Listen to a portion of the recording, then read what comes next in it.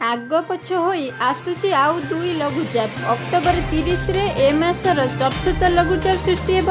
ପ୍ରଭାବ କମ୍ ନଭେମ୍ବର ଦ୍ୱିତୀୟ ସପ୍ତାହ ବେଳକୁ ପୁଣି ଏକ ଲଘୁଚାପ ସମ୍ଭାବନା। ତେବେ ଦର୍ଶକ ବନ୍ଧୁ ଏ ଭିଡ଼ିଓଟି ଦେଖିବା ପୂର୍ବରୁ ଯଦି ଆପଣ ଆମ ଚ୍ୟାନେଲରେ ନୂଆ ଅଛନ୍ତି ଆମ ଚ୍ୟାନେଲଟିକୁ ସବସ୍କ୍ରାଇବ୍ କରନ୍ତୁ ଏବଂ ପାଖରେ ଥିବା ଅଲ୍ ବେଲ୍ ଆଇକନ୍କୁ ଦବାଇ ଦିଅନ୍ତୁ। ଆଗାମୀ ଅପଡେଟ୍ ନ୍ୟୁଜ୍ ପାଇବା ପାଇଁ। ରାଜ୍ୟରୁ ଦକ୍ଷିଣ ପଶ୍ଚିମ ମୌସୁମୀ ବାୟୁ ଫେରିବା ପାଇଁ ଅନୁକୂଳ ବାତାବରଣ ରହିଛି। ତେଣୁ ଆସନ୍ତା ଚବିଶ ଘଣ୍ଟା ମଧ୍ୟରେ ରାଜ୍ୟର କିଛି ଅଞ୍ଚଳରୁ ମୌସୁମୀ ବାୟୁ ଫେରିଯିବ। ଅଠେଇଶ ତାରିଖ ସୁଦ୍ଧା ସମଗ୍ର ଭାରତରୁ ଦକ୍ଷିଣ ପଶ୍ଚିମ ମୌସୁମୀ ବାୟୁ ବିଦାୟ ନେଇପାରେ। ଆସନ୍ତା ଚବିଶ ଘଣ୍ଟା ମଧ୍ୟରେ ଉପକୂଳ ଓଡ଼ିଶାରେ ଗୋଟିଏ କିମ୍ବା ଦୁଇଟି ସ୍ଥାନରେ ଅଳ୍ପରୁ ମଧ୍ୟମ ଧରଣର ବର୍ଷା ସମ୍ଭାବନା ରହିଛି। ଆସନ୍ତା ପାଞ୍ଚ ଦିନ ଯାଏଁ ରାଜ୍ୟର ପାଣିପାଗ ମୁଖ୍ୟତଃ ଶୁଖିଲା ରହିବ। ହେଲେ ଅକ୍ଟୋବର ତିରିଶ ତାରିଖ ବେଳକୁ ପୂର୍ବ କେନ୍ଦ୍ରୀୟ ବଙ୍ଗୋପସାଗରରେ ଆଉ ଏକ ଲଘୁଚାପ କ୍ଷେତ୍ର ସୃଷ୍ଟି ହେବାକୁ ଯାଉଛି। ବିଭିନ୍ନ ମଡେଲ ଚିତ୍ରକୁ ଅନୁଶୀଳନ କରି ପାଣିପାଗ ବୈଜ୍ଞାନିକମାନେ ଏଭଳି ପୂର୍ବାନୁମାନ କଲେଣି। ଏହାର କି ପ୍ରଭାବ ତାହା ଏଯାଏଁ ଜଣାପଡ଼ିନାହିଁ।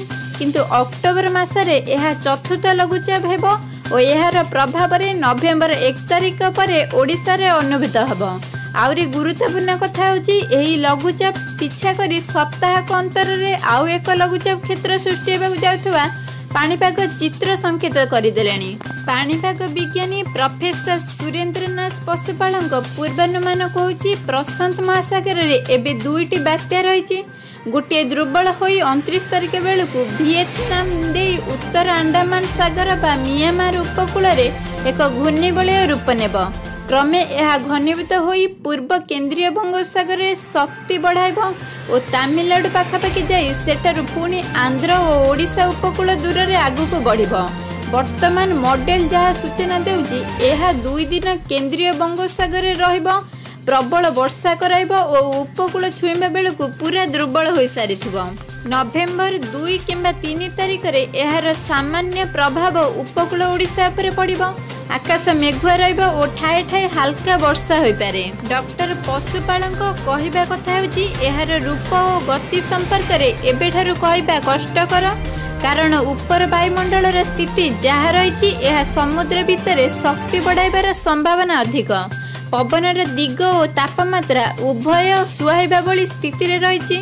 ଗତ ତିନିଟି ଲଘୁଚାପକୁ ଲକ୍ଷ୍ୟ କରାଯାଉଛି ଯେ ସେମାନେ ବଙ୍ଗୋପସାଗରରେ ବେଶ ଅଧିକ ସମୟ ରହୁଛନ୍ତି। ଅବଶ୍ୟ ସେତେବେଳେ ସେମାନଙ୍କର ଶକ୍ତି ବଢ଼ାଇବା ଲାଗି କୌଣସି ସୁଯୋଗ ନଥିଲା। ତିରିଶ ତାରିଖ ବେଳକୁ ଏ ସମ୍ପର୍କରେ ଏକ ସ୍ପଷ୍ଟ ଚିତ୍ର ରଖିହେବ ଓ ଏହାର ପ୍ରଭାବରେ ଠୋସ୍ ଆକଳନ ହୋଇପାରିବ।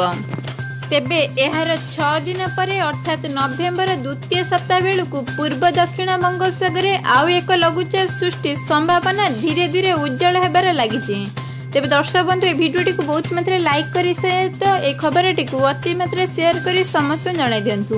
ଆଉ ଯଦି ଆପଣ ଆମ ଚ୍ୟାନେଲରେ ନୂଆ ଅଛନ୍ତି ଆମ ଚ୍ୟାନେଲଟିକୁ ସବସ୍କ୍ରାଇବ୍ କରନ୍ତୁ। ରହୁଛୁ ଧନ୍ୟବାଦ। ଜୟ ଜଗନ୍ନାଥ।